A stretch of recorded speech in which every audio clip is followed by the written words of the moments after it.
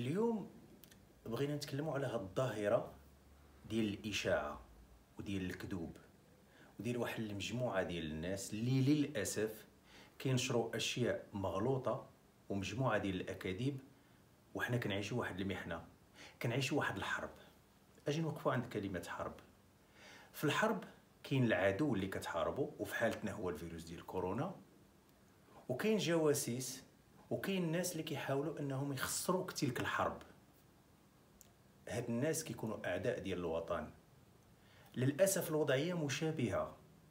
الناس يمكن كيعملوا هذا الشيء بلا ما كيحسوا ما عارفينش الخطورة ديالو وبالنسبة لهم المسألة غير ضحك وغير تفلية وكيخصهم يجيبوا المشاهدات والكلام ديالهم يتم التقاسم ديالو في مختلف المواقع الاجتماعية ولكن ما كيعرفوا شيء.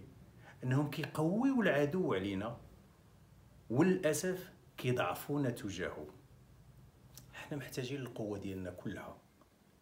هاد الناس خص يفهموا إنهم بمثابة خونه بل كتنطبق عليهم المفاهيم ديال الخيانة العظمى.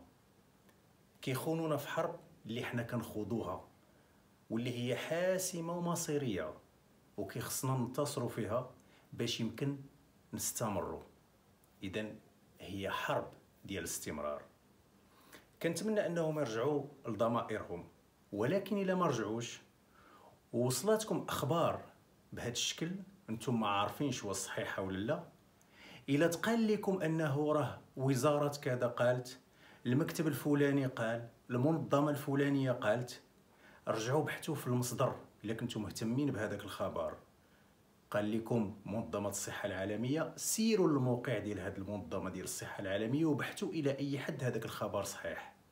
وأهم شيء ما تساهموش من حيث لا تدرون في نشر الإشاعة لأنكم إلا تقاسمتوا هذيك المعلومات وأنتم متأكدينش منها وبعثتوها لناس أخرين كتكونوا كتمرروا العدوى ديال الإشاعة بحال الفيروس ديال كورونا اللي كينتقل من واحد لواحد.